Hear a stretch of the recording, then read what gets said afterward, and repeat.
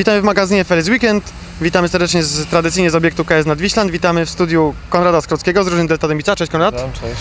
Zanim porozmawiamy z Konradem, zobaczmy co dziś w programie.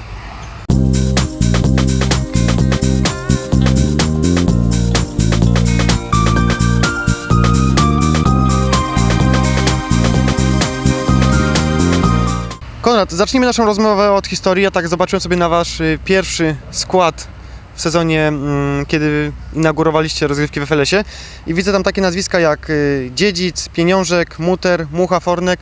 Tych zawodników już, już nie widzimy w składzie. Ta, ta, ta, druż, ta drużyna się zmieniała, zmieniała prawda? I, I zobaczymy ich w ogóle jeszcze? Tak, akurat chyba tych nie zobaczymy. To różne sprawy, albo przeprowadzka z, wyprowadzka z Krakowa, albo jakieś tam inne, czy kontuzja, czy tego typu sprawy, czy miłość wielka na przykład w przypadku jednego z kolegów. Y, I oni chyba nie powrócą. Oprócz tego na pewno też w tym sezonie nie zagra Patryk Zep, który dołączył do nas później, ale też y, był ważnym ogniwem zespołu w pierwszym naszym sezonie Widza. Też raczej Michał Sikorski, Rafał Frydz czy Michał Wolańczyk też już chyba nie zagrają w Delcie, bo w tamtym sezonie zresztą do- dojeżdżali z Dębicy Michał Sikorski czy Rafał Frydz razem ze mną, a w tym sezonie już jestem w Krakowie, więc nie dojeżdżam do tych, na te mecze, więc no też we dwie osoby ciężko specjalnie jechać. To mecz to ja byłem wtedy tym motorem napędowym e, motywującym, żeby jednak na meczu się pojawić. A teraz kto, kto, na nim jest? Tym motorem napędowym, czy... czy... Y, Cały czas, ale jednak już jest cały czas stopniu. ja, ale jestem w Krakowie, więc y, Mhm. no już z Dębicy ciężko mi tam chłopaków motywować. Czyli żeby- ten skład, ci zawodnicy, którzy teraz są w składzie, to rozumiem, że to są już znajomi z Krakowa. Znaczy ten, trzon tam, nie wiem, Bramkarz Mhm. Pociask, Świętoń, Kulik, y, y, to są wszyscy jeszcze z Dębicy, ale już, Już nowi zawodnicy coraz jak mniej Wojtek już. Wajda, czy, y, czy, czy, czy Ar- Artur Wojtasiński, który dołączył z nami w tym sezonie, on też jest z Dębicy, Rafał Her, Herba jest z Dębicy, także Wojtek Wajda, Artur Wojtasiński, oni są, oni, y, oni dołączyli w tym sezonie, Wojtek jest z Krakowa i teraz jeszcze tam planujemy jakieś wzmocnienia, to już będą y, znajomi z Krakowa. E, Konrad, przejdźmy do tego meczu, który graliście w minionym tygodniu. Mecz z Formów Piomet. E, Przegrany niestety dla Was. Jakbym mógł poprosić Cię o komentarz do tego spotkania. No, nie spodziewaliśmy się na pewno zwycięstwa, bo Piomet zaczął bardzo dobrze ten sezon. Yy, No, historia naszych pojedynków jest długa. Na początku była dla nas korzystna. W Lidze A w pierwszym meczu przegraliśmy, ale prowadząc. Już w tamtym sezonie już było bardzo słabo, bo chyba 8-0. Teraz wynik minimalnie lepszy, ale, ale gra chyba też lepsza, ale no, nas wypunktował. Myślę, że w tym sezonie powalczą pewnie o, tam o, o podium lub tam trzecie, czwa- czwarte, piąte miejsce. Na pewno jest to dobra drużyna, a my ciągle mamy, budujemy jakby od nowa jakieś tam y, założenia i tak dalej, od nowa skład, bo, bo on się niestety zmienia i tak jak obserwuję wszystkie drużyny w lidze A, albo jak już są, albo jak awansują do Ligi A się wzmacniają, a my niestety, y, my niestety raczej w drugą stronę. No i pewnie w tym sezonie znowu będziemy walczyć o, o, utrzymanie. A co do samego meczu, no to yy, było może nieźle, bo było 2-0, później tego co pamiętam 2-1, ale już końcówka pierwszej połowy dla Piometu. Nie, nie mieliśmy za dużo argumentów, żeby im odpowiadać na, na akcję. Tym bardziej, że się, tak jak mówię, wzmocnili i, i jest, no, będzie, będzie na pewno Piomet zagrożeniem dla, dla czołowej drużyny. Dziękuję za tą, za tą analizę Waszego meczu. Teraz zapraszam Was na a, materiał, który pokazuje, co działo się mm, w minionym tygodniu, jakie drużyny rozgrywały swoje mecze i jakie padały wyniki.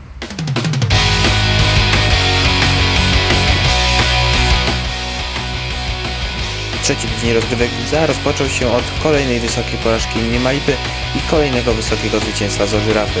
Ponownie w świetnej formie był Rafał Cebula, który w spotkaniu z Niemalipy zdobył 6 goli. Spotkanie dobrze rozpoczęło się dla Niemalipy, które w czwartej minucie objęło prowadzenie, ale już minutę później to prowadzenie straciło i do końca spotkania na boisku dominowała Żyrafa, która ostatecznie wygrała 9 do 1. To drugie zwycięstwo Żyrafy w sezonie. W poniedziałek odbyły się trzy spotkania. Pierwsze z nich to starcie mistrza e, ligi z wicemistrzem, czyli DTW Galacticos z Rafisem. DTW znakomicie ten mecz rozpoczęło, szybko uzyskało przewagę dwóch bramek i ta przewaga okazała się być kluczowa dla losu pojedynku. Rafis do końca spotkania walczył o wyrównanie, ale nie było go na to stać. Jedynie był w stanie zmniejszyć straty do jednej bramki, ale w końcówce spotkania DTW raz jeszcze odskoczyło i ostatecznie wygrało to spotkanie 4 do 2.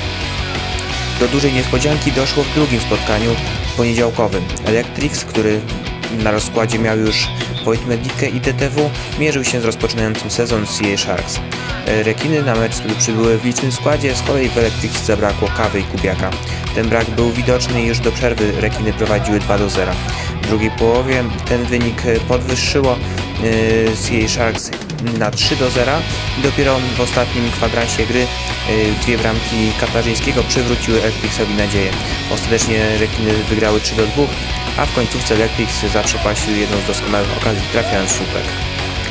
W trzecim poniedziałkowym pojedynku Delta Dębica uległa wysoko formą w Piomet od początku spotkania miał przewagę, ale gola zdobył dopiero po 17 minutach gry.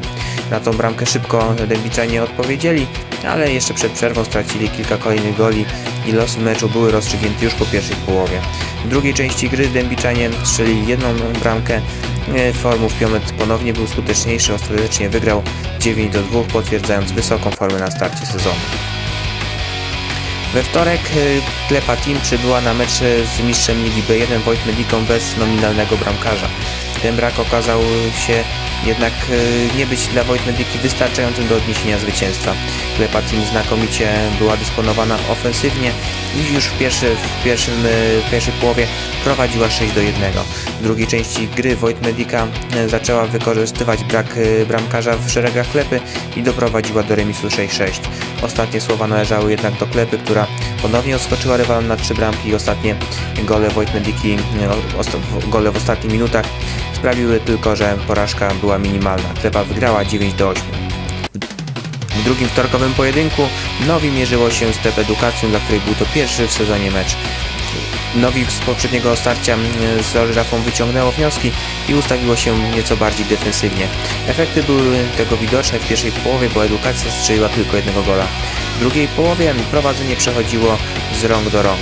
Nowi w pewnym momencie prowadzili nawet 3 do 2, ale tego prowadzenia nie byli w stanie utrzymać.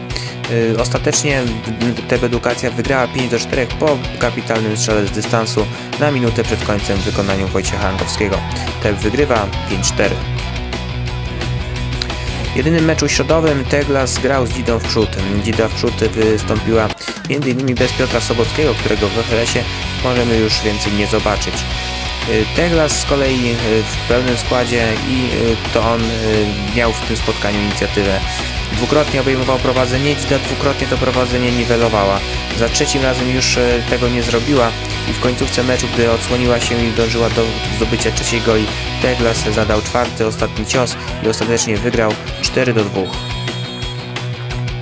Oto komplet wyników trzeciego tygodnia w A. Czwarte już zwycięstwo Klepy. Wysokie wygrane także Formów, Piomet i Żyrafy. W tabeli na czele Klepa Team z drugiego miejsca spada Electrix, który poniósł pierwszą porażkę w sezonie, na, trzecim miejscu na drugim miejscu z kompletem punktów Teglas. Przed nami szóstka tygodnia. Na wyróżnienie zasłużył Jakub Masiuk, autor jednego z goli w meczu z Electrixem i tym samym jeden ze współtwórców dużego sukcesu rekinów, jakim było pokonanie jednego z faworytów do tytułu.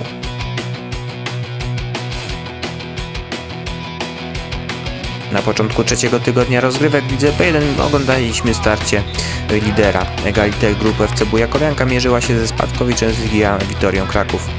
Niespodziewanie dla Bujakowianki ten mecz był ciężką przeprawą. Defensywnie ustawiona Witoria sprawiła y, liderowi dużo problemów, mimo że grała bez nominalnego bramkarza i tylko w sześcioosobowym składzie. Bujakowianka opór rywala złamała dopiero w ostatniej minucie przed przerwą. Gdy wydawało się, że w drugiej połowie to y, lider tabeli będzie dominował, y, Witoria stworzyła sobie kilka niezłych okazji, których jednak nie potrafiła zamienić na bramkę. Ostatecznie Bujakowianka wygrała 2-0 po golu w ostatniej minucie meczu. Po czterech meczach zespół ten ma komplet punktów. Łatwe zwycięstwo odnieśli Piraci z Karaibów, którzy mierzyli się w niedzielę z Autoasem. Do drużyny Autoasa powrócił e, wyróżniający, się gracz w poprzednich sezonach Robert Pachota, ale jego dwie bramki nie pomogły drużynie w odniesieniu zwycięstwa. Trudno by było inaczej, jeśli e, Autoas już w piątej sekundzie stracił pierwszego gola, w piątej drugiego, a w siódmej trzeciego. Piraci dominowali praktycznie przez cały okres spotkania i ostatecznie wygrali 11 do 3. We wtorek oglądaliśmy w akcji mistrza Ligi C3 Denico Design Mass Attack. Ich rywalem było Rocket Fuel, które już raz w tym sezonie sprawiło niespodziankę pokonując kanonierów. Tym razem jednak o niespodziance nie mogło być mowy. Mass Attack już w drugiej minucie objął prowadzenie i w pierwszej połowie je podwyższył yy, kończąc pierwszą część gry z przewagą dwóch goli. W drugiej połowie szybko dołożył kolejną bramkę, a wynik został ustalony w 39 minucie i Mass Attack wygrało 5 do 1. Pierwszy mecz w sezonie rozgrywało Exalo Centrum Kraków, rywalem drużyna Oni. Początkowo mecz był dość wyrównany i żadna ze stron nie była w stanie trafić do bramki rywali. Niemoc strzelecką przełamało Exalo dopiero w 24 minucie i po chwili dodało drugiego gola. Tuż po wznowieniu gry nadzieje powróciły w szeregi Oni. Oni zdobyli bramkę kontaktową, jednak e, na kolejne bramki już nie było ich stać. Exalo w ostatnich 10 minutach rozpoczęło bramkową serię, e, zdobyło 5 goli z rzędu i wygrało ostatecznie 7 do 1, udanie rozpoczynając jesienną przygodę z FLS. W środę w Lidze B1 mieliśmy tylko jeden pojedynek. GSSC Electrolux mierzył się z Desperados. Spotkanie to było bardzo ciekawe, losy tego spotkania ważyły się praktycznie do samego końca, no a zwycięstwo, y, a zwycięstwa byli raz bliżej jedni, raz drudzy. Początkowo więcej powodów do radości miał Electrolux. Jednak na przerwę z prowadzeniem schodziło Desperados i gdy po przerwie ich przewaga wynosiła już 3 gole, wydawało się, że sięgną po pewne 3 punkty. Electrolux jednak broni nie złożył, odrobił stratę, a w ostatnich y, dwu, dwóch minutach gry zdobył jeszcze dwie bramki i zapewnił sobie wygraną 7 do 5. Niesamowicie ciekawe spotkanie było także, yy, byliśmy świadkami także w piątek. Finezyjni grali z rozpoczynającą sezon Brygadą Kryzys. Brygada już w 3 minuty zdobyła, pierwsze 3 minuty zdobyła 3 gole, prowadziła 3 do 0, ale Finezyjni za sprawą Jarosława Grycha jeszcze przed przerwą doprowadzili do remisu. Po przerwie nawet Finezyjni prowadzili różnicą jednego gola, ale ostatnie słowo należało do brygady. To ona wyszła na prowadzenie 7 do 5. Gol z końcówki spotkania finezyjnych nie był w stanie już odwrócić losów tego meczu. Finezyjni ponieśli więc pierwszą porażkę w sezonie, a brygada wygrała 7 do 6. Ciekawie zapowiadało się starcie Darmatu Medicina Biker Shop z kanonierami. Wydawało się, że po tym jak Darmat pewnie pokonał w ostatnim tygodniu Desperados powrócił na zwycięską ścieżkę. Jak się jednak okazało, nie była to do końca prawda, bo kanonierzy pewnie pokonali Darmat 9 do 4. Y, Darmat, część zawodników Darmatu przybyła na mecz spóźniona, no ale też trzeba powiedzieć, że kanonierzy y, w późniejszym czasie, gdy już składy były pełne, mieli przewagę i dominowali nad rywalem. Darmat przegrał pięcioma bramkami, to pokazuje, że ma spory problem w defensywie i póki co także nie jest to zespół, który e, w zeszłym sezonie walczył o laury w lidze C1.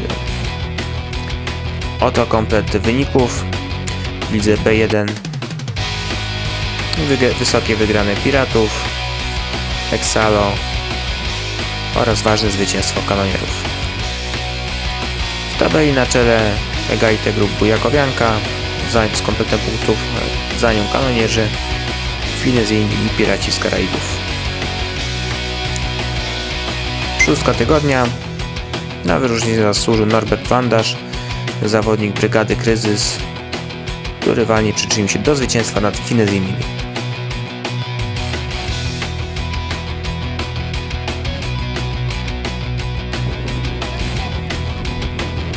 W Lidze B2 sezon rozpoczęli gladiatorzy. W trzecim tygodniu rozgrywek ich rywalem był Asocjar.pl. E, gladiatorzy wystąpili w tym meczu jeszcze bez swoich dwóch liderów, Kowalińskiego Klicha, ich, ich brak był widoczny.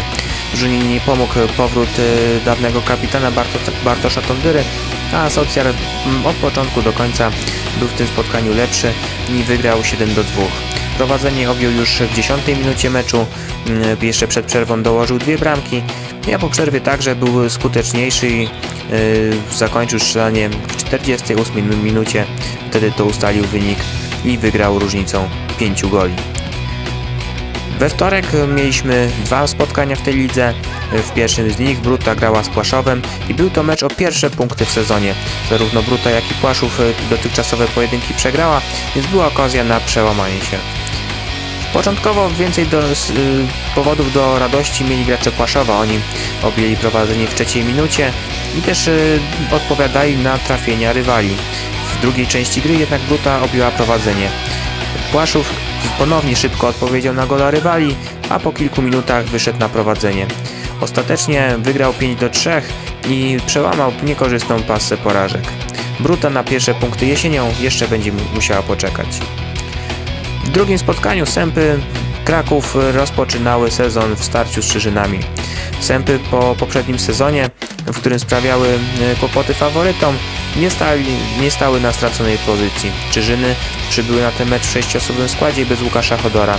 Jego brak był widoczny, choć e, Krystian Augustyniak wziął na siebie ciężar rozgrywania akcji, zaliczył trzy asysty, to zwycięstwo zostało wypracowane dopiero w ostatniej minucie. Sępy miały swoje okazje, były na prowadzeniu przez kilka chwil, ale ostatecznie musiały uznać wyższość rywala. Trzeba też powiedzieć, że e, w drużynie Sępów zadebiutowało czterech nowych zawodników, więc ich wkomponowanie w drużynę może trochę potrwać. Środę odbyły się dwa spotkania, w jednym z nich e, nie mieliśmy e, żadnych emocji. Amber Gold od początku do końca dominował w spotkaniu z przebudowaną Krakowią. Mm, e, już w czwartej minucie zespół Amber Gold objął prowadzenie. Swój strzelecki popis w ósmej minucie rozpoczął Konrad Kuźmienko, który zakończył spotkanie z dorobkiem 11 goli. Do przerwy prowadzenie Amber Gold 10 do 0. W drugiej części gry Krakowia miała już pewne powody do radości. Zdobyła 5 goli i uległa 5 do 18, ale te 5 bramek może być dobrym prognostykiem na kolejne spotkania. W drugim pojedynku walka była już bardziej wyrównana. Xeropel Lokomotiv i Apla to brązowi medaliści z poprzedniego sezonu, odpowiednio w lidze B2 i w C2. E, jak się okazało, e, ta drużyna, która awansowała z Ligi C, e, okazała się być drużyną lepszą. Już do przerwy Apla prowadziła różnicą 3 goli 3 do 0. W drugiej połowie Xeropel Lokomotiv jeszcze walkę podjęło, ale Apla to zbyt doświadczony zespół, by dać sobie roztrwonić taką przewagę. Zwycięstwo 6 do 3 to drugie zwycięstwo Apli w sezonie i kolejna już porażka Lokomotivu, który w dalszym ciągu pozostaje z zerowym dorobkiem punktowym. W piątek doszło do prestiżowego pojedynku pomiędzy Kukiz Kraków i aerodynamiką Nocnika. Przypomnijmy, że część zawodników e, nocnikarzy wcześniej występowała w Kukiz. Dla, litości dla swoich byłych kolegów jednak nie mieli i e, mimo e, tego, że Cookies w pierwszej połowie starało się nawiązać walkę i straciło tylko 4 gole, przegrywał 2 do 4 w drugiej części gry, już nie miało nic do powiedzenia. Aerodynamika wygrała ostatecznie 12 do 3, ponownie świetną formą wykazał się Suchan, a Cookies drugi mecz rzędu przegrywają w dość wysokich rozmiarach. Aerodynamika z kolei kontynuuje serię zwycięstw. Bardzo udanie rozpoczął sezon zespół Krakhemu. E, drużyna prowadzona przez Marka Rapacza, który zdobył w meczu z niezniszczalnymi 5 goli, pokonała no, właśnie żółto-czarnych 9 do 0. Spotkanie od początku do końca było pod kontrolą Krakhemu, e, który prowadzenie objął już w 8 minucie meczu. Strzelanie zakończył w minucie ostatniej, 50. E, zwycięstwo 9 do 0 powoduje, że Krachem udanie rozpoczął jesień. Przypomnijmy jednak, że także wiosnę zaczął od wysokiego zwycięstwa, potem już tych zwycięstw było jednak mniej. Oto komplet wyników. Widzę B2 na uwagę zasługują przede wszystkim wysokie zwycięstwa. Amber Gold, y, nocnika, aerodynamiki Nocnika oraz Krakemu wymęczyło zwycięstwo Czyżyny. W tabeli na czele Amber Gold, za nią aerodynamika Asocjar, Czyżyny i Japla. Wszystkie te drużyny mają komplet punktów i ponownie na czele drużyny, które awansowały z Ligi C. Szóste tygodnia na największe wyrazy uznania zasłużył Konrad Kuźmienko z drużyny Ambergold. Co prawda miał on ułatwione zadanie, ponieważ Krakowia bramkarzem nie dysponowała, ale i tak dorobek 11 trafień musi budzić szacunek.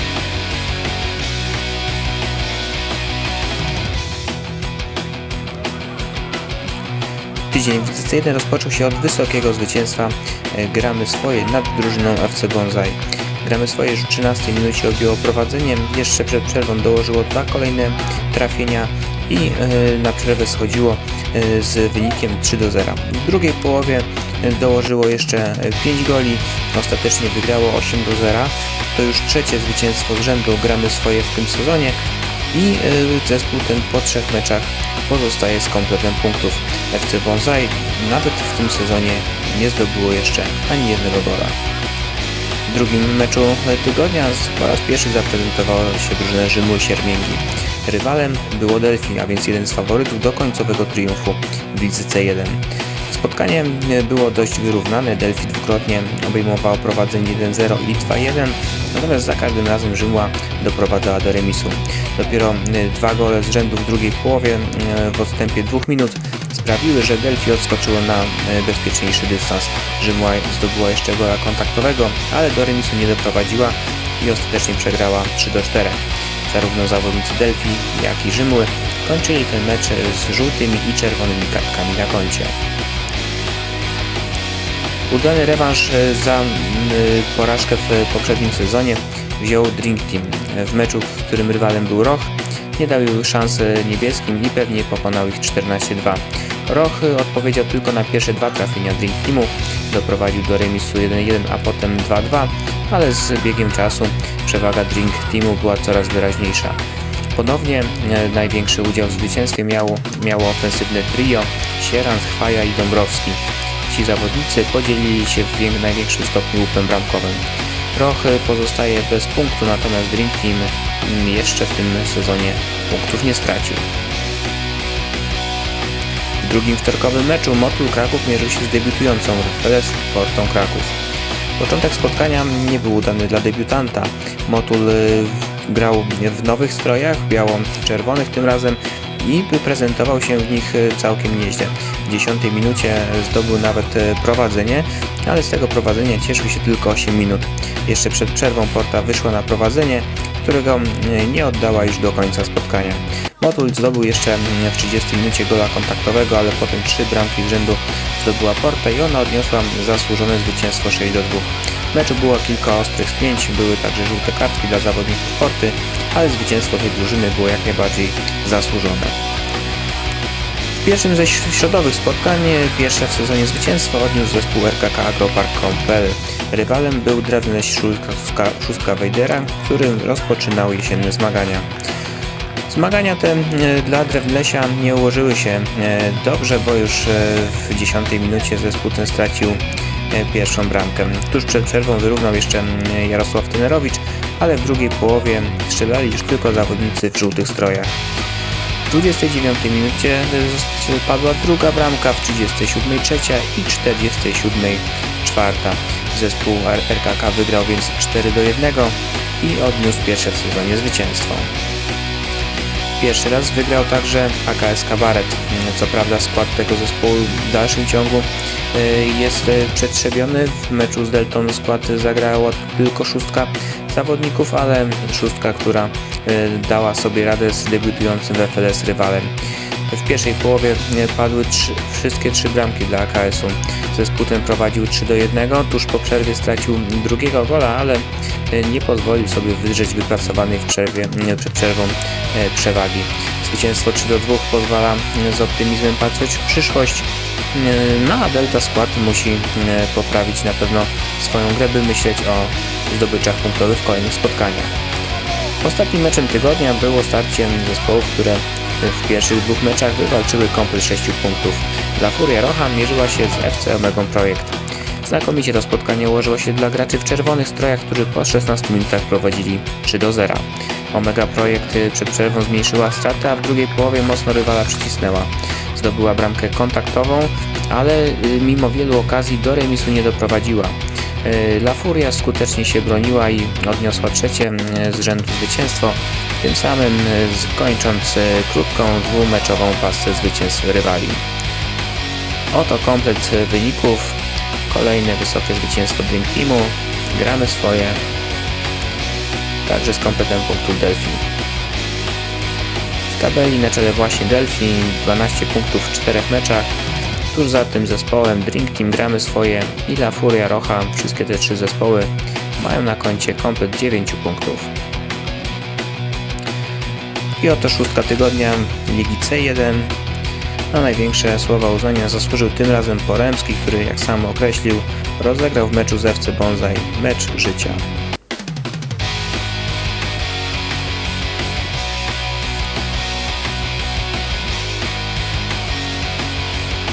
Mecz Opłatkowianki z Bezdziwień Salvator rozpoczął zmagania w trzecim tygodniu Ligi C2. Spotkanie przez pierwsze 15 minut było wyrównane. Obie drużyny na ten, na ten mecz przybyły w sześcioosobowych składach, jednak osłabienia większe były po stronie Bezdziwień.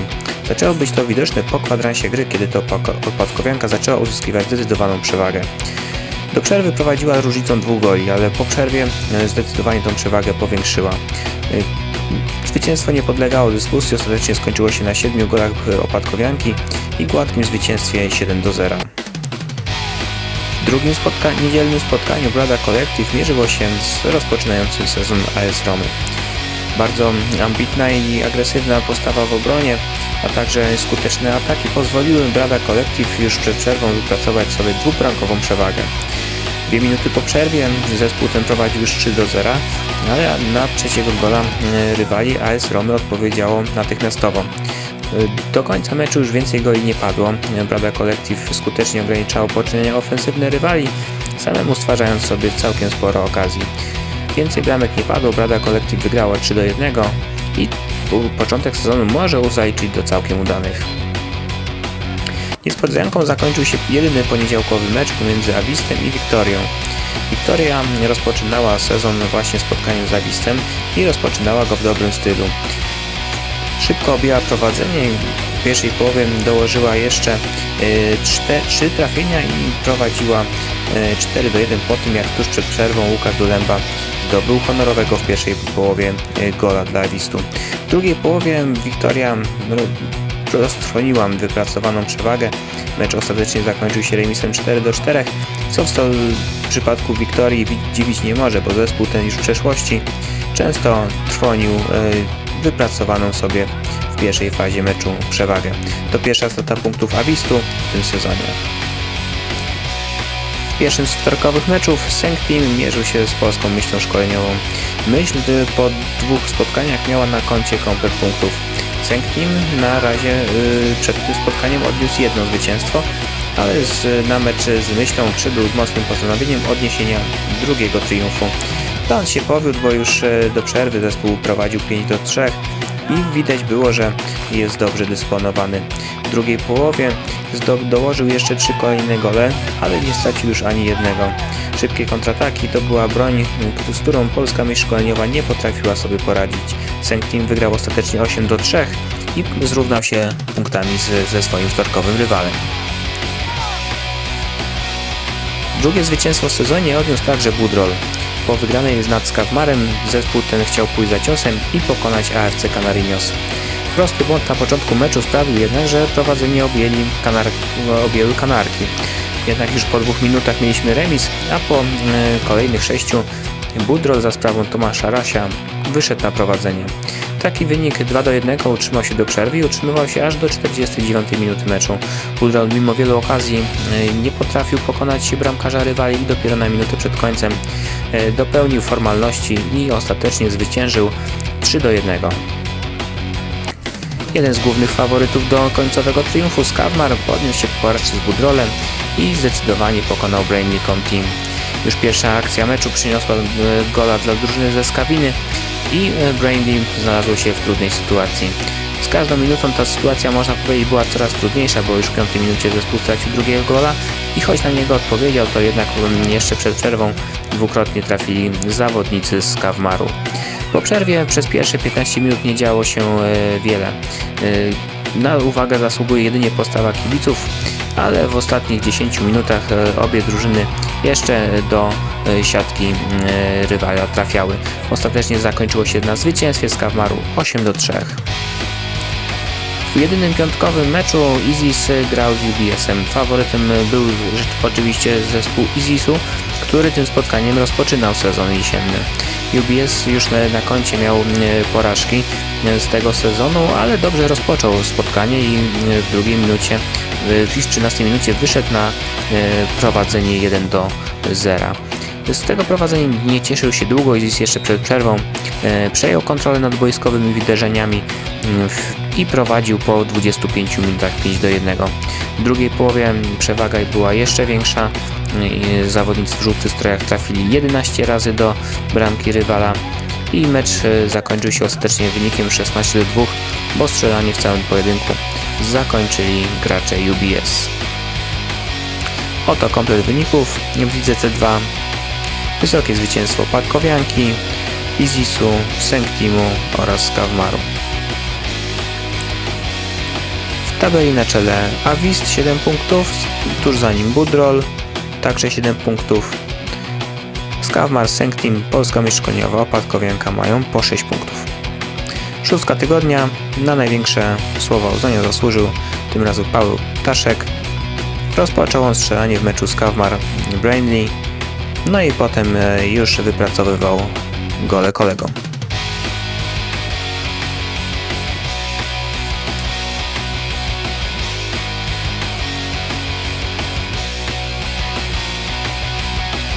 Trzeci tydzień rozgrywek w Ligi C3 rozpoczął się od ciekawego starcia pomiędzy Limpaszem i Interem Kraków.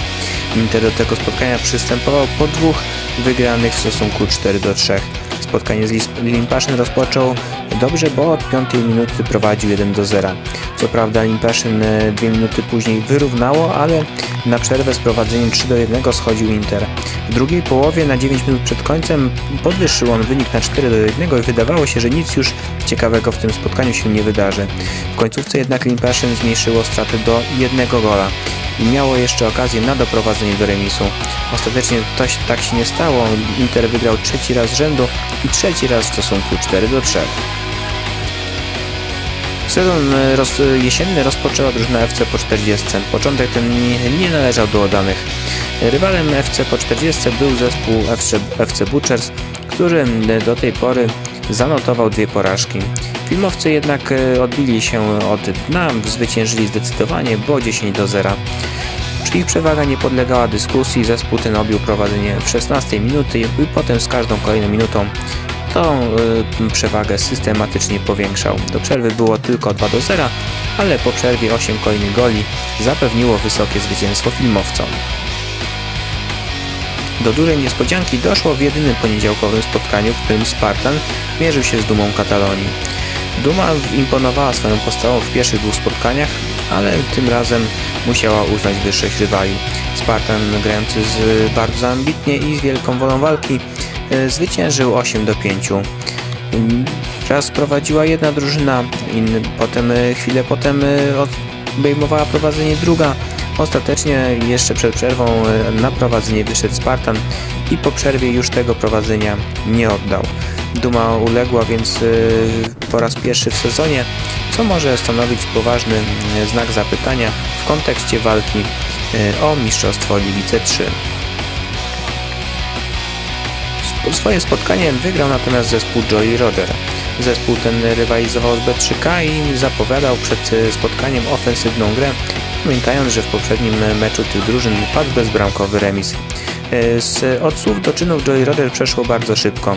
W piątej minucie objęło prowadzenie, w 11 wynik podwyższyło, a w 18, w 14 i 18 zdobyło jeszcze dwie bramki na przerwę, więc zawodnicy spod znaku pirackiej bandery prowadzili 4 do 1.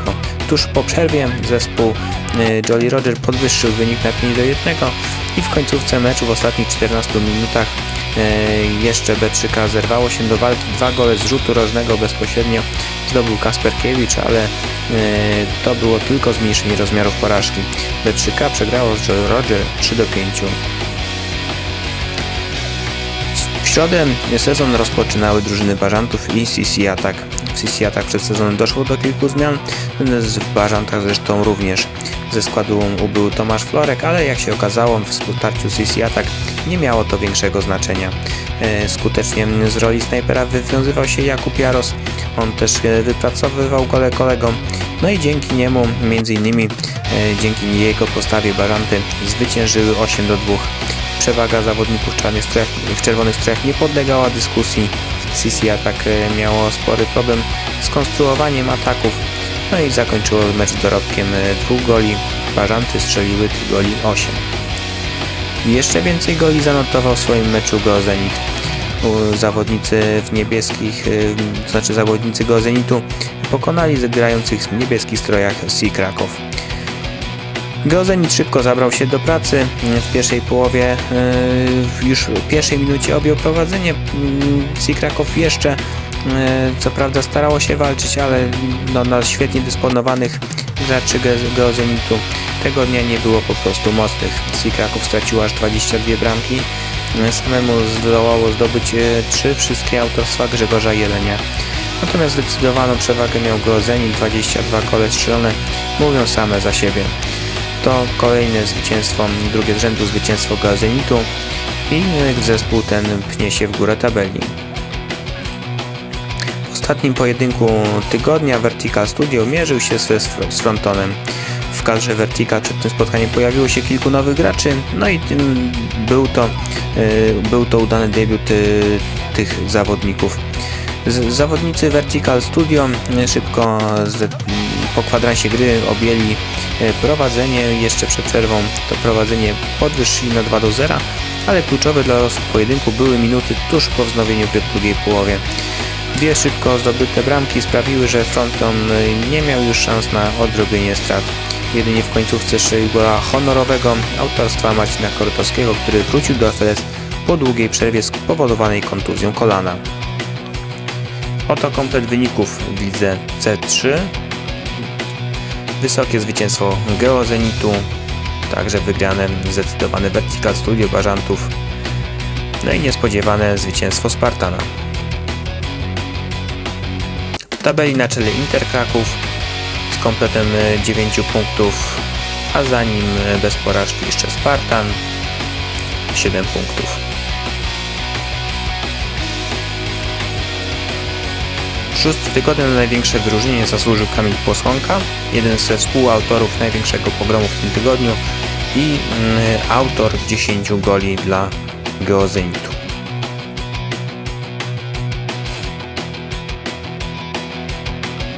W pierwszym meczu tygodnia w lidze C4 dobrze rozpoczął zespół Diabły Tasmańskie.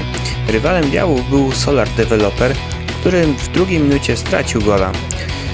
Szybko jednak się z prowadzenia rywali otrząsnął i już minutę później doprowadził do remisu, a jeszcze przed przerwą wyszedł na prowadzenie 2 do 1. Diabły tasmańskie nie składały broni. 4 e, minuty po wznowieniu gry w drugiej części doprowadziły do remisu. Potem jednak już strzelali tylko zawodnicy w białych strojach. 4 e, gole z rzędu zapewniły im wygraną 6 do 2. To drugie zwycięstwo Solartu w sezonie. Wygrał także Melange Football Team, także e, on za, zaaplikował rywalom 6 goli, ale z, stracił o jednego więcej. Rywalem Melange był zespół restauracji Magillo. Podobnie jak w pierwszym spotkaniu, tak i teraz e, gola jako pierwsi strzelili zawodnicy zespołu, który ostatecznie schodził z boiska pokonany. Po tym jak w drugiej minucie Magillo objęło prowadzenie, e, zawodnicy Melange zdobyli 6 goli z rzędu. Dwa z nich w pierwszej połowie, a cztery padły w drugiej. Melarz więc wygrał 6 do 3. 6 goli strzelił także FC Kalinex. E, rywalem Kalinexu był Meteor Kraków, który starał się jak najszybciej przedostawać pod bramkę rywali. Nie było jednak tego, nie było jednak efektów w postaci goli. Gole strzelali w tym spotkaniu tylko zawodnicy Kalinexu po 3 w pierwszej i w drugiej połowie Meteor nie zdobył bramki mm, żadnej w tym spotkaniu i uległ 0 do 6.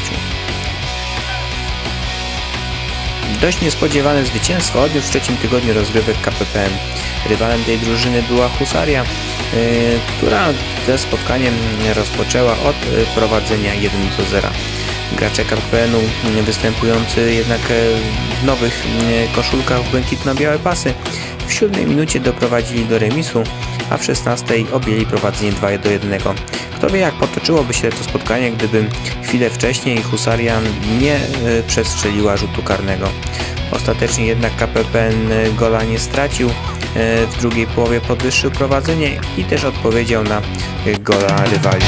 Ostatecznie zakończyło się wynikiem 5, mecz zakończył się wynikiem 5-2 dla KPPN-u, który e, może się cieszyć z pierwszego odniesionego na boisku zwycięstwa. Bardzo ciekawe starcie. Oglądaliśmy e, równolegle toczony pojedynku. Salwa grała z FC Paragonem. Obie te drużyny w pierwszych dwóch meczach wywalczyły komplet 6 punktów, więc wiadomo było, że ktoś e, z tego kompletu się pozbędzie. E, Punkty jako pierwsze straciła e, drużyna Paragonu. Salwa w- od początku meczu uzyskała przewagę, prowadziła już w pewnym momencie pierwszej połowy nawet 4 do 1, ale Paragon nie zamierzał rezygnować z korzystnego rezultatu. Przed przerwą zmniejszył straty do jednego gola i także w drugiej połowie zniwelował częściowo różnicę 3 goli. Ostatecznie jednak Salwa wygrała 7 do 6. Oto komplet wyników w lidze C4. Solart, Melange, Kalinex, także Paragon, który przegrał, strzelali rywalom po 6 goli. Oto tabela na czele z kompletem 9 punktów Salwa, za nią Paragon i KPPN oraz Solart po 6 punktów. Oto szóstka tygodnia e, przed nami Ligi C4. Na gwiazdkę zasłużył w tym tygodniu Tomasz Felix, zawodnik Melange Football Team, który poprowadził ten zespół do wygranej nad restauracją Magii.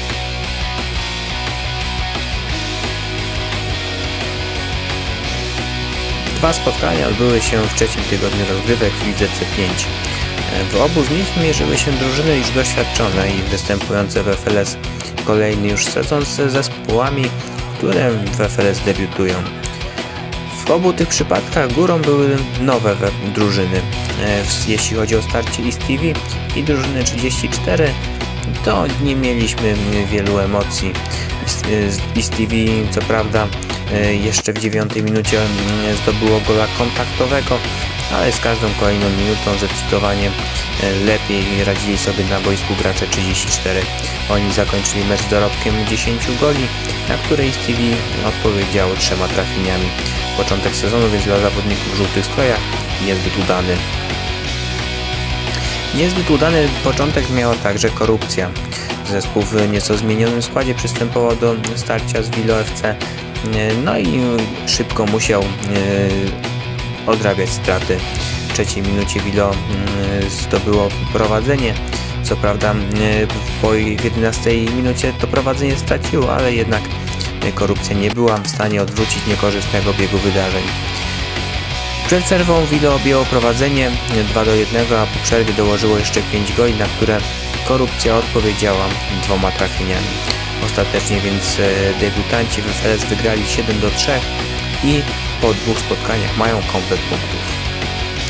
Oto wyniki Ligi C5 zwycięstwa 34 i Wilo FC. Te wyniki mają też przełożenie na tabelę obie drużyny e, na czele z kompletem 6 punktów. Lepszy bilans bramkowy ma drużyna 34. Szóstka tygodnia. Przed nami w Lidze C5 na największe uznanie zasłużył autor 4 goli Wiktor Niemczyk z drużyny 34. Dobra, w takim razie zobaczmy na, na wyniki, jakie padły w, w lidze, gdzie, gdzie występujecie. Nie ma lipy, Zo Żyrafa, Zo wygrywa 9 do, do, do 1. E, Przed sezonem mówiło się, że Zo to tym, pewny kandydat do spadku. Jak pokazują ostatnie mecze, dwa zwycięstwa z rzędu, no łatwo i tanio skóry nie sprzedadzą zawodnicy tej drużyny.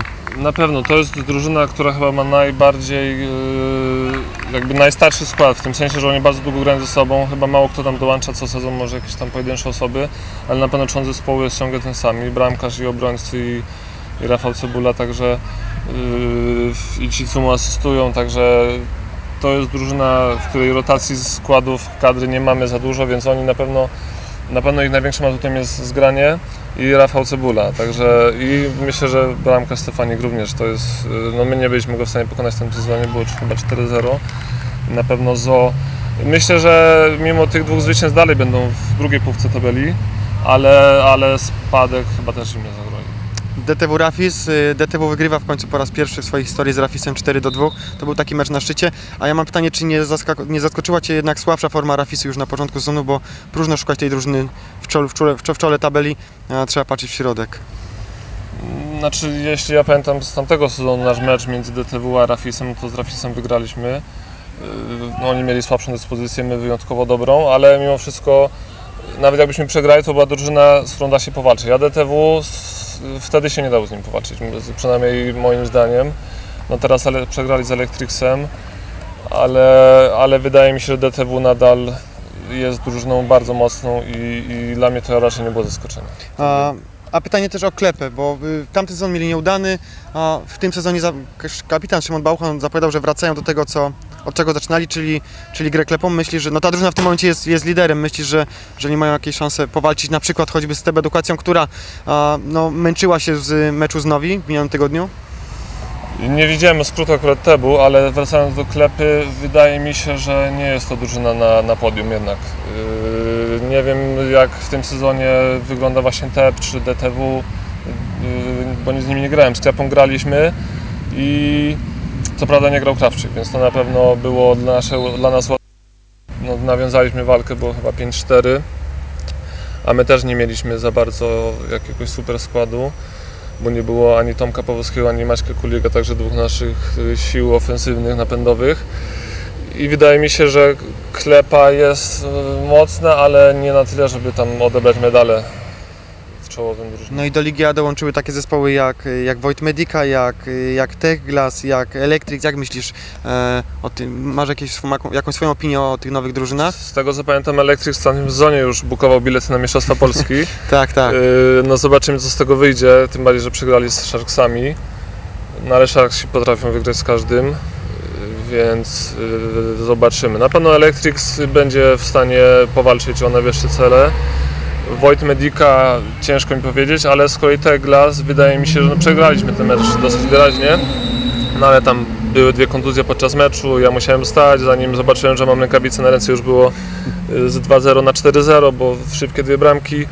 Także y, ta, mogliśmy na, w pełnym składzie mogliśmy nawiązać z Teglasem walkę, więc wydaje mi się, że skoro my mogliśmy nawiązać z nimi walkę, to te czołowe drużyny im y, nie pozwolą na stratę, na odbiór punktów, więc wydaje mi się, że Teglas akurat, akurat nie. Wojt Medica ciężko mi powiedzieć, a nie Balipy chyba z, z problemów tych kadrowych pewnie będzie walczyć y, o, o utrzymanie. Tak, jeśli się nie uporają, jeśli kapitan Rafa Furgal nie upora się, no to, to zapewne będzie to walka o utrzymanie. Do rozmowy wrócimy za chwilę, a w tym momencie zapraszamy Was na e, materiał o drużynie z...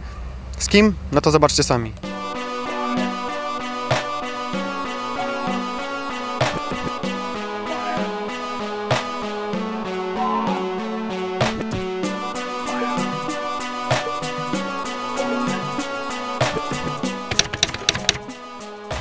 Może zacznę od tego, że to nie była pierwsza nasza nazwa.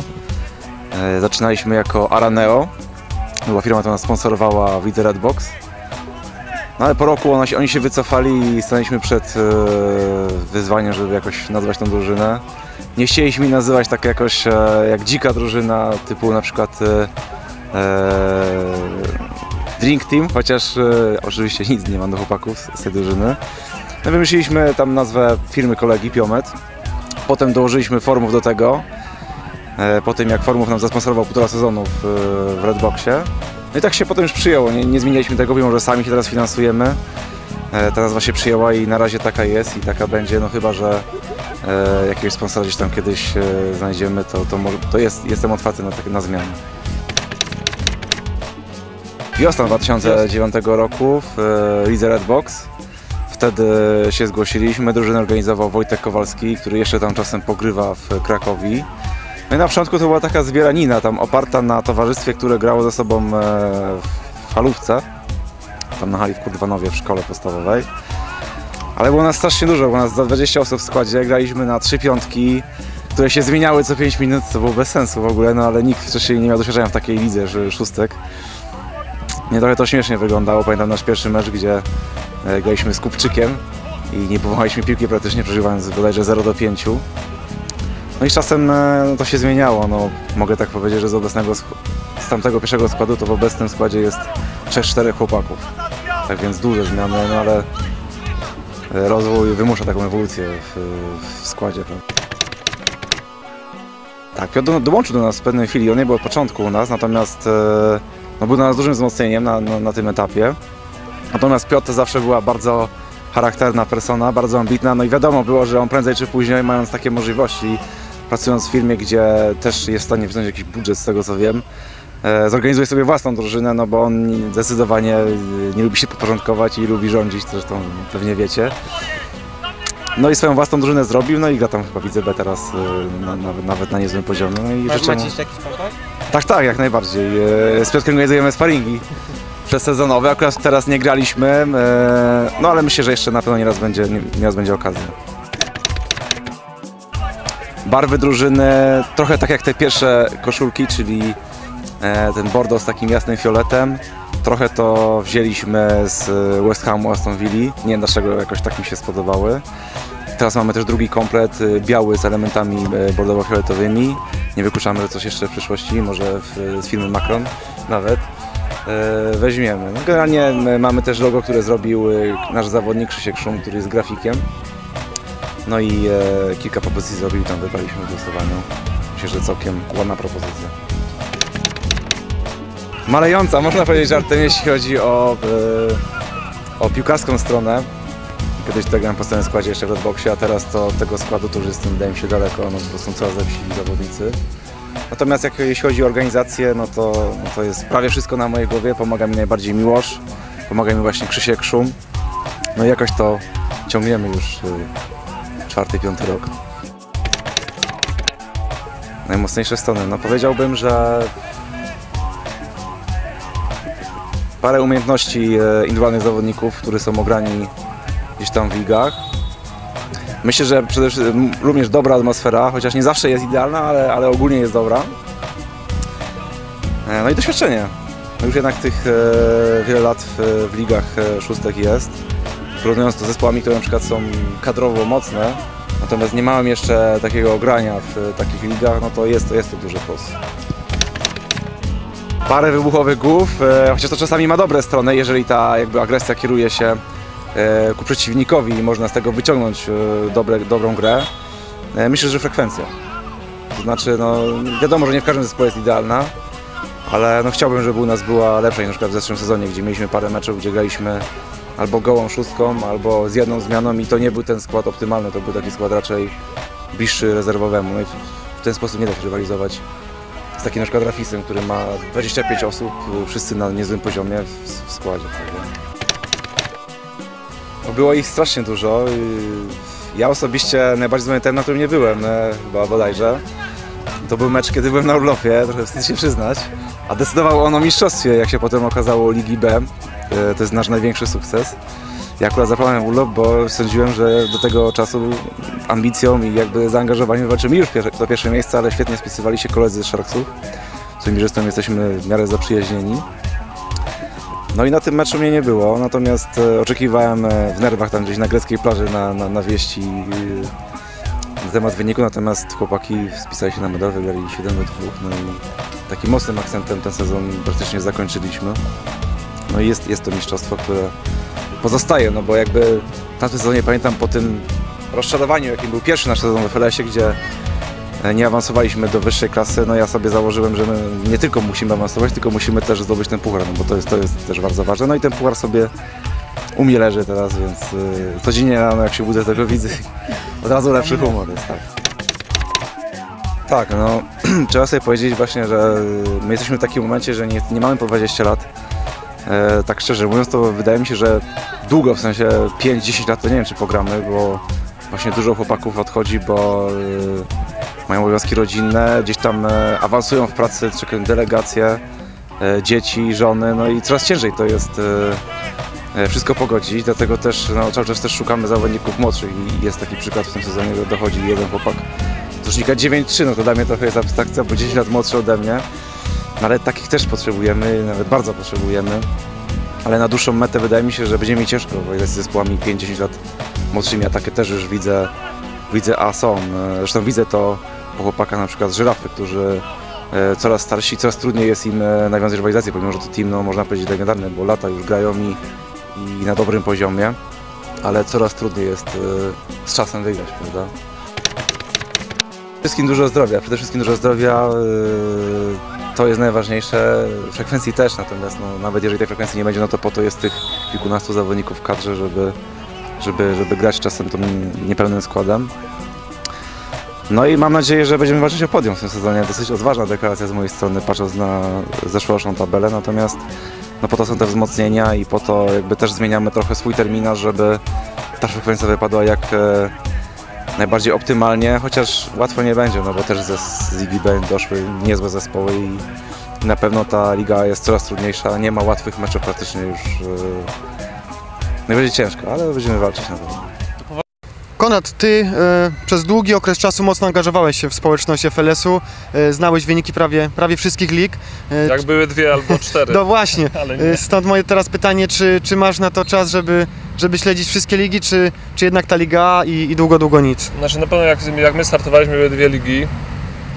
Chyba oglądałem tylko ciekawsze wtedy skróty z Ligi A. No, z naszej ligi na pewno też najciekawsze i na pewno miałem czas na to, żeby oglądać swojego rywala najbliższego poprzednie tam jakieś parę meczów.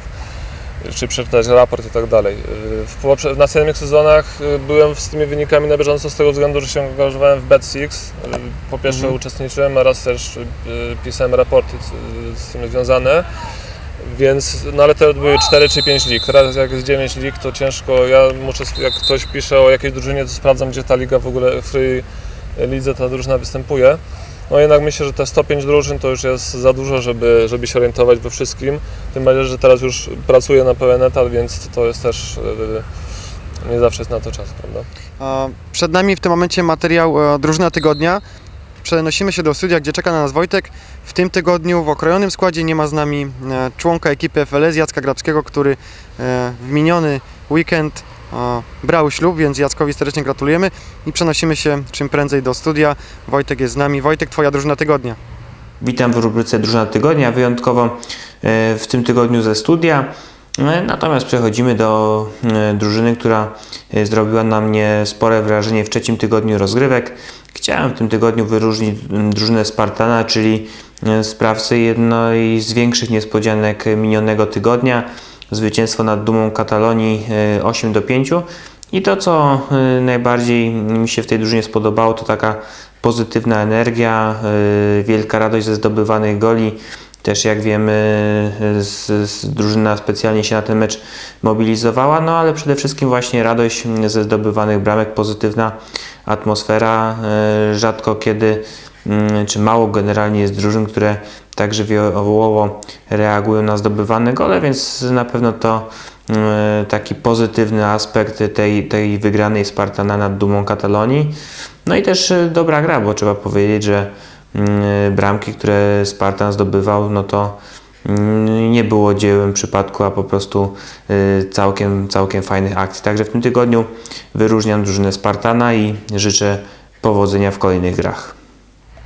Y, Konrad, jako że jesteś osobą, która jednak w dalszym ciągu ma sporą wiedzę na temat Ligi, Ligi FLS, e, mam do Ciebie pytanie o, czy Ty w ogóle jesteś w stanie pokusić się o taką tezę, która liga jest najmocniejsza, bo e, raz po raz pojawia się na czacie, na chatboxie pytania, czy sugestie, że Liga C1 jest najmocniejsza, po czym jest odpowiedź, nie, nie, Mocniejsza Oda. tak, mocniejsza od A, ale później nie, nie, Liga C3 jednak jest najmocniejsza i zespoły z Ligi C3 równie by wygrałyby by Ligę A. Później, że nie, nie, no panowie, jak Liga A to jest najmocniejsza. Jakie Ty masz zdanie na ten temat?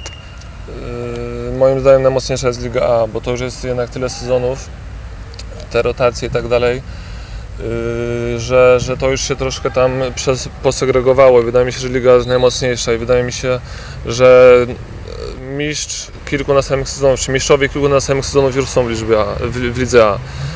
Bo, czy, no nie wiem, które drużyny mogłyby tu, czy Bujakowianka, czy, czy nie wiem, Masatak, nie wiem, czy to są drużyny, które są w stanie powalczyć teraz z czołowymi drużynami. Na pewno w pierwszy sezon, drugi, gdyby dwie ligi, no to na pewno te ligi były wyrównane. Gdy y, wszedł Rafis czy DTW, no to na pewno też wszyscy czekali aż pójdą do Ligi A. No i DTW się udało y, wygrać jako Beniaminkowi. Znaczy, ale wydaje mi się, że w tym sezonie y, to nie Beniaminek zdobędzie mistrzostwo w Lidze A, ani w następnych sezonach. Także y, możliwe, że Ligi C są mocniejsze od B, bo bo to są nowe drużyny. W Lidze B już jednak albo ktoś przynajmniej raz nie awansował, albo przynajmniej raz spadł, więc yy, no jakby nie, nie zdobyli mistrzostwa, a w Lidze ci drużyny z Lig C jeszcze są niektóre niepokonane, prawda? Ale, ale wydaje mi się, że, że, że jednak Liga A jest najmocniejsza i, i przez kilka następnych sezonów mistrzostwo zdobędzie drużyna, która już teraz w Lidze A jest. Przenosimy się po raz kolejny do studia, gdzie czeka na nas Wojtek. Zapraszamy na kontrowersję. Witam w kontrowersjach trzeciego tygodnia rozgrywek. Zaczynamy od sytuacji KPPN z meczu KPPN Husaria Kraków. E, Chodzi o żółtą kartkę pokazaną zawodnikowi KPPN-u Marcinowi Hajdukowi. E, Zawodnik e, KPPN-u twierdzi, że nie należała mu się żółta kartka. Trzeba rozpatrzyć przy tej sytuacji dwie kwestie. Przede wszystkim, czy był faul, no a jeśli, jeśli był, to czy należała się żółta kartka.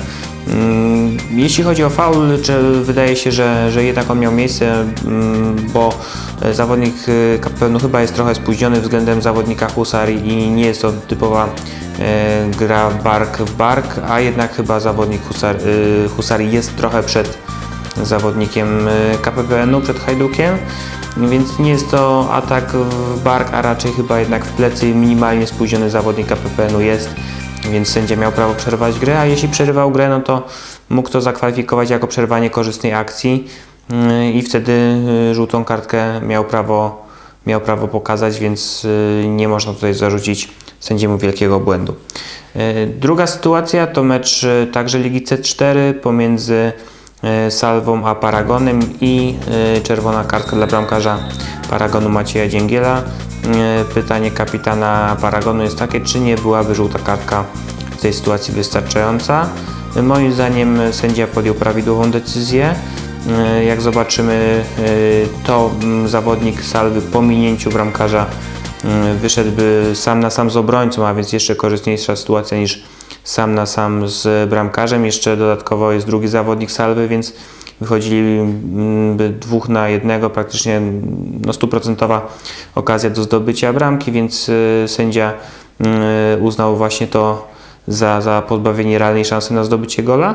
No a trzeba powiedzieć, że, że tutaj jednak przekroczył też bramkarz Paragonu znacznie linię boczną y, wyznaczoną przez pacho- linię boczną pola karnego wyznaczoną przez pachołek, więc nawet jeśli mówimy o jakiejś tolerancji, y, tak jak to, to było w zeszłym tygodniu przy sytuacji w, z meczu Piomet DTW, to tutaj jednak, jednak o tym nie może być mowy, bo zdecydowanie poza linią pola karnego bramkarz Paragonu się znajdował, więc oceniam to, tą sytuację jako y, de, prawidłową decyzję sędziego.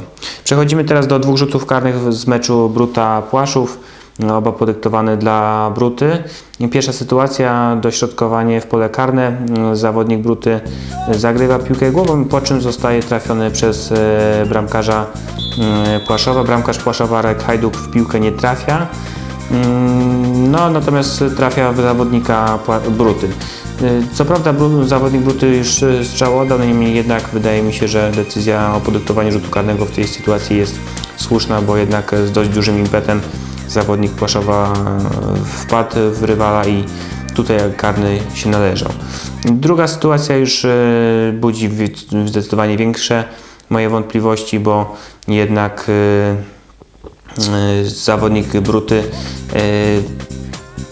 no, nawet w polu karnym nie pada, może minimalny kontakt z nogą obrońcy był, natomiast też trzeba powiedzieć, że potem akcję kontynuował i dopiero sytuacji, gdy tą piłkę tracił, to zasygnalizował sędziemu, że gdzieś tam był trącony. Moim zdaniem tutaj sędzia e, na wyrost ten karny podyktował i ja w tej sytuacji puściłbym chyba grę, mm, bo jeśli ten kontakt nawet był to taki, który, który zbytnio z rytmu biegu e, zawodnika Bruty nie wytrącił. Kolejna sytuacja to rzut karny podyktowany w meczu y, Formów Piomet Delta Dębica. Y, Rzut karny podyktowany dla Piometu. Y, Tu nie mam wątpliwości, że decyzja była słuszna. Zawodnik Piometu szybszy był, y, szybciej dopadł do piłki, no i został po prostu od tyłu popchnięty, czy, czy po prostu zawodnik Delty wpadł na zawodnika Formów i spowodował jego upadek, więc decyzja o przyznaniu karnego moim zdaniem w tym przypadku jest słuszna. I ostatnia sytuacja to mecz Delfi Rzymła Siermięga. Chodzi tutaj o nieuznaną bramkę. E, To była bramka na 4-4. E, Sędzia uznał, że gol został dobyty, zdobyty bezpośrednio z autu. No i niestety nie pozwala nam zapis wideo jednoznacznie określić, czy sędzia miał słuszność, czy nie. E, W pewnym momencie piłka też e, zostaje zasłonięta przez e, innych zawodników i ciężko jest określić, czy tam gdzieś kontakt nie nastąpił. Być może tak, być może nie.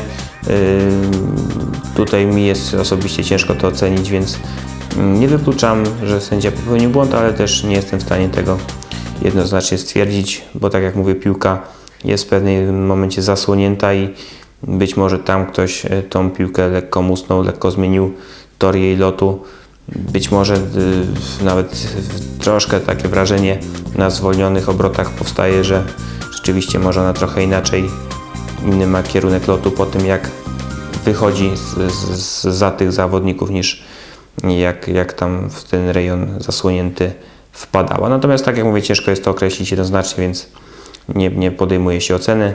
No i to była ostatnia sytuacja w tym tygodniu w kontrowersjach. Dziękuję za uwagę i do zobaczenia za tydzień. Konrad, zbliżamy się do, do końca naszej, naszej rozmowy. Mam pytanie o, o plany drużyny Delta, Delta Dębica. Czy, czy jednak w drużynie jest świadomość, że, że musicie walczyć o, o utrzymanie?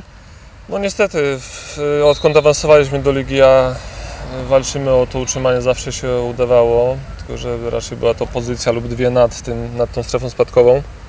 Teraz poziom jest na pewno wyższy jeszcze. My jesteśmy słabsi, więc zdajemy sobie sprawę, że, będzie naj, że to będzie najtrudniejszy sezon, jeśli chodzi o utrzymanie.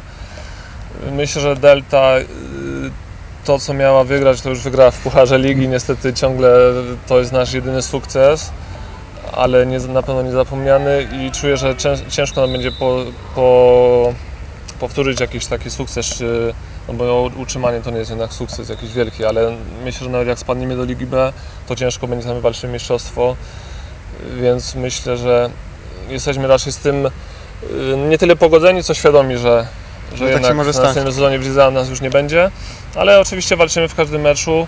Tak jak w tamtym sezonie potrafiliśmy zremisować czy z Tebem, czy z Gidą, wygrać z Rafisem, więc no zobaczymy. Nie. Dlaczego nie w tym sezonie? Maciej Ziębak, y, kapitan drużyny Wittorii, on zawsze, mm, kiedy Wittoria uczestniczyła w Lidze e, robił taką kalkulację, symulację, ile tych punktów potrzeba do utrzymania. Zawsze tam mu No to wychodziło 13. te 13, tak, magiczna liczba. Tak. Myślę, że w tym sezonie te, te 13 oczek wystarczy do utrzymania. Myślę, że może być tych oczek więcej, że ta różnica między pierwszą a ostatnią drużyną się spłaszczy.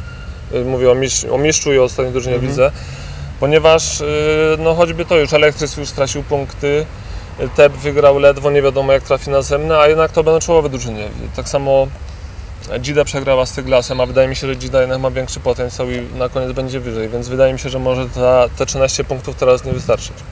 A, dziękuję serdecznie.